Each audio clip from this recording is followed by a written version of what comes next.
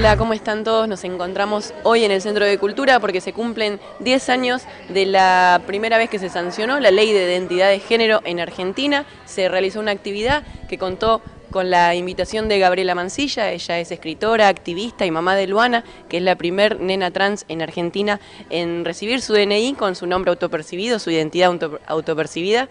Así que bueno, Gabriela, ¿cómo estás?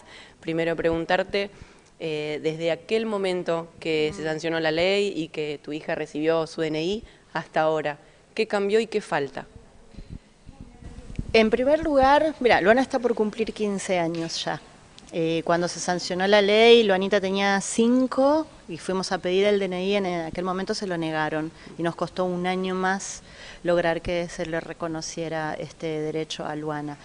Lo que ha cambiado eh, es todo lo que hemos impulsado lo que hemos hecho a nivel familias, desde la Asociación Civil Infancias Libres, desde todo el laburo que llevo adelante con, las charlas, las presentaciones, los libros que he escrito y los libros autogestivos de la asociación. Ya tenemos eh, nueve libros, que es una herramienta fundamental. Está la película Yo Nena, Yo Princesa. Yo creo que lo que ha cambiado es que logramos poner en agenda política el tema de la niñez y adolescencia travesti trans, ponerlo en el contexto de la historia de su comunidad. O sea, las niñeces trans travestis como Luana están dentro de la expectativa de vida tan baja que es de 35 años. O sea, la historia es con la comunidad trans travesti. Entonces, lo que se ha logrado es visibilizar la realidad, instalar la realidad y que hoy estemos hablando de un montón de niñeces trans travestis que están dentro de la escuela y que las ampara la ley de identidad de género. Cuando a Luana le dieron el DNI, yo hoy en, en la actualidad estoy acompañando a niñeces que no habían nacido cuando a Luana le daban el DNI. hemos dejado un camino y una huella enorme y más allá de que creas, acompañes o no, esto es un derecho, porque la ley te obliga a respetar la autopercepción de género de todas las personas, el nombre elegido de cada persona, especialmente en niñas, niños y adolescentes. Y la realidad que es, esto es una realidad.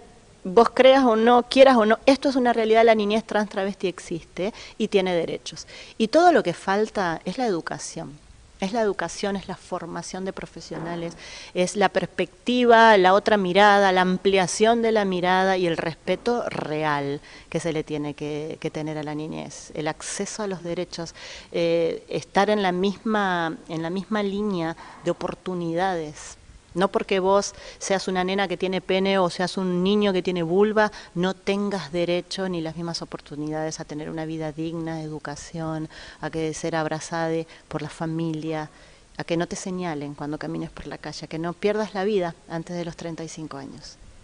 Bueno, recién te escuchaba Gabriela y sí, el recorrido es muchísimo. Eh, también yo cuando leí tu libro me conmovió muchísimo y también quería preguntarte eso, ¿no? Estar en ese lugar que para vos fue tan difícil y que logró tantas cosas. ¿Qué palabra le darías por ahí a las familias que nos están mirando y que por ahí tienen un niñito, una niñita trans em, cerca o, que es parte de su familia? ¿Cómo acompañar a esa familia? ¿Cómo acompañar a esa niñez?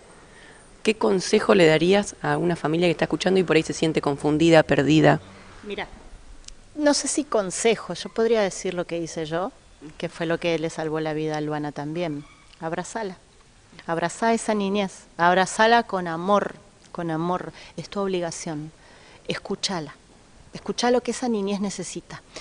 Y para que esa niñez sea protagonista, las personas adultas nos tenemos que correr del lugar protagónico, de saber o de pensar que nosotros sabemos lo que esa niñez necesita. Sentate a escuchar y atender las necesidades de esa niñez.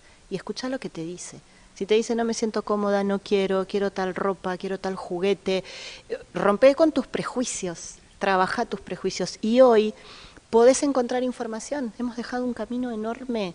Vos ponés, no sé, en el buscador, que debe ser una niñez trans, te va a salir Luana, te va a salir la historia de Luana. Entonces hay material, hay libros, hay película, hay eh, infinidad de notas hay un laburo recorrido por toda la comunidad travesti trans. Tenemos la ley de identidad de género que la militó y, la, la, puso en agenda política la misma comunidad. O sea, perder el miedo, eh, perder el miedo, revisarnos, qué nos pasa a nosotros, a nosotras, las personas adultas con estas niñeces. Muchas gracias, Gabriela. Gracias a